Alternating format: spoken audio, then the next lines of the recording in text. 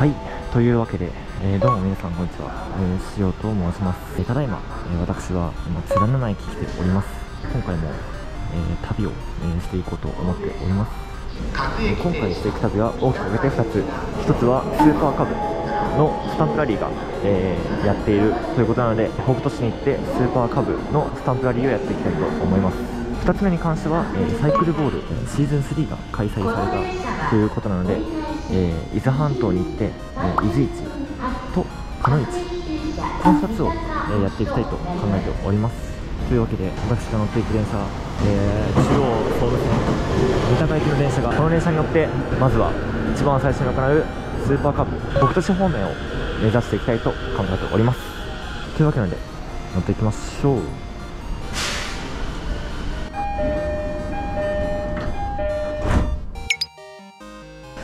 というわけで渡辺駅に到着いたしました、えー、これから中央線に乗り換えまして高駅を目指していきたいと思います。あのなんですが、えー、中央総務線、えー、中野駅ですね。こ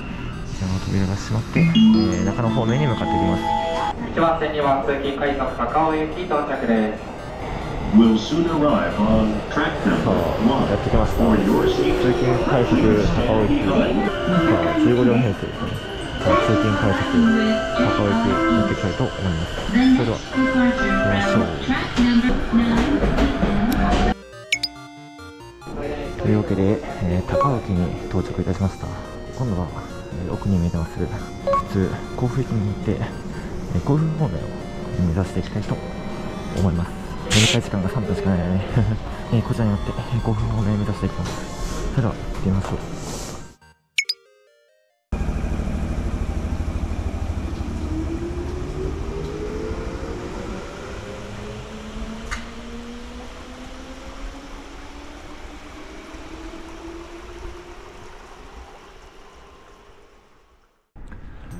はい。というわけで、えー、JR の山梨市駅というところに来ております。そうですね、山梨駅について、こちら、私の自転車を、まあ、元の形に戻したいといった感じですね、輪行しながら来ました。で、えっと、これからの予定なんですけども、えっと、まず、現在の時刻が23時43分ということで、ほぼもうすぐで日付が回ってしまう。しかも、まあ、そうですね、5月の頭なんですけども結構気温も寒いんですね。なんで本当自転車だと風も結構当たるんで体が冷えてしまうんですね。なので、まあ、夜のライドはあまり好ましくないというわけで伊沢温泉駅の近くに、えー、快活クラブの伊沢店がございますので、え、そちらで、え、夜を明かしたいと考えております。というわけで最初に目指すべきは、え快活クラブの伊沢店になります。1駅2駅くらいなんで、まあ、自転車だったらすぐ行けるかなといった感じでございます。というわけでですね近くには、えこういった看板があります。神様だけがいない街かな？そのアニメの中で山梨市駅にはこのようなポスターがあるんですけどもこのアニメも山梨市が主な舞台となっているんですけどもこちらにえ山梨市駅の新しい、え駅舎が描かれていますけれどもまさしく先ほどから見ているこの駅舎これが背景になっているわけなんですね、えー、なんですけども、えっと、もう一つありまして山梨市駅は、えっと、これが最近改装されたんですね、えー、その改装される前の写真というのがこちらになるんですけどもでこの駅舎っていうのは、えー、アニメゆるキャンのえ、シーズン1の4話くらいで描かれたという駅舎になります。というわけで、山梨市駅が2つのアニメの聖地巡礼となっているわけなんですね。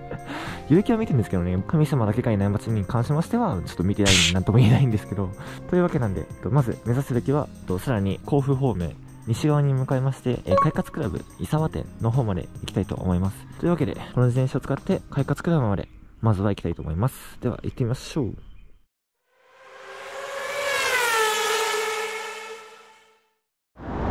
はいというわけで、えー、快活クラブ伊沢店に到着いたしました。山梨市駅から7キロほどを走ったという形になります。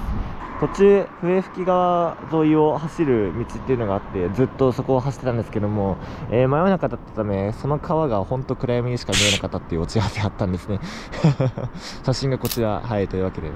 もうあの奥にあるあのライトだけが明るく明るく照らされているって感じなんですけども、そんな感じで川は真っ暗です真っ暗でした。というわけでここでまずは夜を明かしたいと思います。で、えー、明日の朝は、えっと、スタンプラリーの台紙が韮崎駅というところで、え、配布されてるんですけどもこの伊沢温泉からだいたい18キロとか20キロないくらいなんですね。稲崎駅の始発が、えー、と6時頃6時1分というわけでまあ大体その改札が6時から空いてるだろう。というわけでスタンプラリーも6時から開始できるというわけなんですね。まあ6時ないし7時8時くらいには稲崎駅に着きたいなと考えております。で朝からスタンプラリー北斗市を中心としたスーパーカブの、えスタンプラリーを開始したいと考えております。というわけで、えー現在の時刻は、えー12時30分、まあ、夜をここで明かしたいと思います。では翌朝までカット。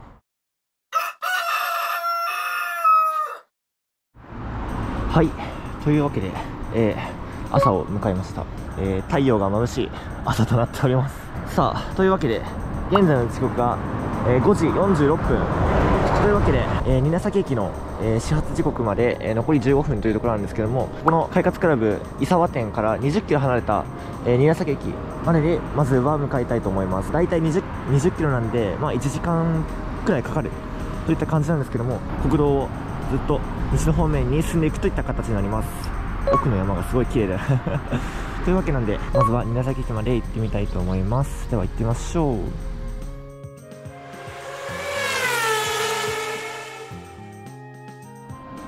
さあというわけで、えーだいぶ走ってきました。時刻はちょうど6時30分ということで周りの景色はこんな感じ。少しえーっと上り坂を登ったということでちょっと高台にいるんですけど見渡す景色がとても綺麗で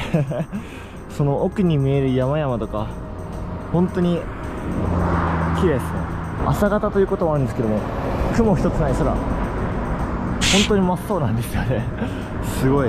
えー距離といたしましては現在15キロを走ったということになっております、えー JR でいうと、えー宮崎駅の一つ手前塩崎駅付近でございます。あと一駅といったところですね。まあそうですね。5キロくらいでしょうか。もう少し頑張っていきたいと思います。では行ってみたいと思います。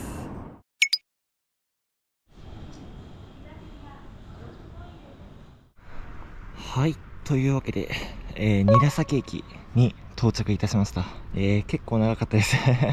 ルートとしては石和辺りを、えー出発して国道20号線甲州街道ですね。甲府の甲と信州の州を結ぶ甲州街道を、えーひたすら西に進みまして、え現在韮崎駅まで着いております。でこの韮崎駅の周辺をちょっと探索してみるとあちらの方に、えー私としてはかなり見られたお店大民があります。地方に行った時に知ってるお店に出会うとすごい安心感があるっていうこのことなんです そして目の前にはちょっと逆光で見えないかもしれないんですけどもこちらの球児の像と書かれた、えこちらの像があるんですね。何かの記念碑なんですけども、えっと、こちら記念碑と書かれておりまして、え昭和50年度全国高等学校総合大会サッカー会場優勝山梨県立韮崎高等学校昭和50年8月8日と書かれているんですね。でこれの詳細が右側に書かれています、えー球児の像、えー1975年に、えー韮崎市で開催された第10回全国高等学校総合体育大会において優勝を成し遂げた、えー韮崎高等学校サッカー部の栄誉をたたえと書かれております、えーということなんで、えー、と第10回の全国高校サッカーにおいて、えーここ稲地元稲崎高校が優勝したことによって、えーこの像が、えー飾られているといった形になります。すごいですね。こここのような地方でも優勝するほどの実力が持ってますからね。いやー素晴らしい。というわけで宮崎駅に来たということなんでスーパーカブのスタンプラリーに参加したいと思います。今回のスタンプラリーに関しましては、えデジタルスタンプラリーではなく、えー、と紙に、えー直接スタンプを押すといった形になっておりますのでそちらの台紙がこの宮崎駅の中にあるということなので行ってみたいと思いますでは行ってみましょう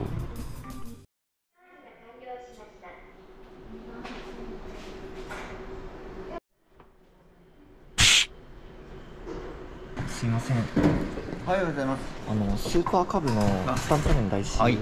はい、こちらです。ありがとうございますはい。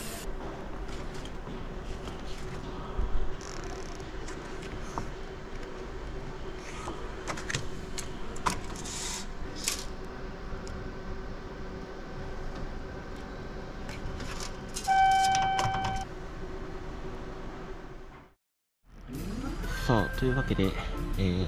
スーパーカブとえー、北斗市、北斗スタンプラリーですね、スーパーカブの北斗スタンプラリーの代償をいただきました。えー、こちらは改札にいる駅員さんに声をかけていただくと、えー、もらえるといった形になっております。えー今回はこちら、見えますでしょうか？6, 6箇所あるんですね。まず、えー一番下にあります、えースタンプ設置場所、JR 中央本線稲崎駅、こちらをクリアいたしました。それから、え2番目ですね、えーこの左上にありますえースタンプ設置場所南アルプス、えー川梨川温泉向川の湯。で3番目北斗市役所ですね。で水垣湖ビジターセンター。清里駅前観光総合案内所。小淵沢駅前観光案内所。この6つが、えー今回のスタンプラリーの設置箇所となっております。裏面がこのように6つのスタンプがす台紙になっているんですね。で先ほど1つ目の JR 中央本線宮崎駅こちらをにスタンプをしたといった形になっております。小熊さんが 見上げてますね。もう一つ、えーいただきましたのは、えースーパーカブの、えーこちら舞台担保マップになっております、えー中身を開けてみると、えー見開きで、えースーパーカブの、えー人物紹介やアニメで使われたシーンなどまああらすじのようなことが書かれております、えー中を開いてみると、えーこのような形になっております。左側は、えーアニメの使われたシーンが、えー地図として書かれておりますそうですね下の方も書かれております。で右側は、えー北斗市の観光案内といった感じで、えー道の駅やグルメなどが書かれておりますこちらもいただきましたというわけで、え現在の時刻が、えー7時なんですけども、えこれから、えスタンプラリーを回っていきたいと思います。というわけで、まずは、えー、向川の湯ですねこちら、え南アルプス釜梨川温泉向川の湯こちらに行ってみたいと思います。では行ってみましょう。宮崎駅とはこれでおさらば。さあ今中央本線の駅が来たわけなんですけどもこちらは下り列車ですね。松本方面に向かうのかな？というわけで、えーまだ稲崎駅にいるんですけども、えー現在時刻は7時20分なんですね。で、先ほど向川の湯に行こうと思ったんですけども、えっ、と、営業時間が10時からということなんで、えっ、と、最初に向川の湯に行っても、えっ、と、スタンプが押せないということが分かりました。というわけなんで、え向川の湯はちょっと後回しにしようということなんで、まずは、え3番目である北斗市役所の方に行ってみたいと思います。えこちら8時半からの営業開始ということなんで、まあ、ちょうどいい時間に着くんじゃないかなということなんで、え最初に北斗市役所の方に向かっていきたいと思います。えまずは北斗市役所の方に行ってみたいと思います。はい。というわけで、未だに、えー奥に電車が見えるんですけども、はい。まだ新崎駅の近くのローソンに来ております。えーなんですけれども、えーちょっと今ルートを固めました。北斗市役所に行く行くって言ったんですけども、ここから7キロくらいで、営業時間が8時半からなんで、ちょっと待ち時間が発生ししてしまうんですね。なので、一番最初に、一番遠い清里駅の方に行ってみたいと思います。で、そこまでが27キロというわけで、まあ、1時間半くらいかかるっていった感じでしょうかね。で、次に、え水垣湖ビジターセンターに行きます。それが終わったら、えー北斗市役所で向川の湯を通って、最後に北上して、小淵沢駅の方に向かっていくといったルートにしようかなと考えております。というわけで、ちょっとこの方針で固めたので、一番最初に27キロ離れた清里駅に向かっていきたいと思います。では、ちょっと遠いですけど、頑張っていきましょう。では、行ってみましょう。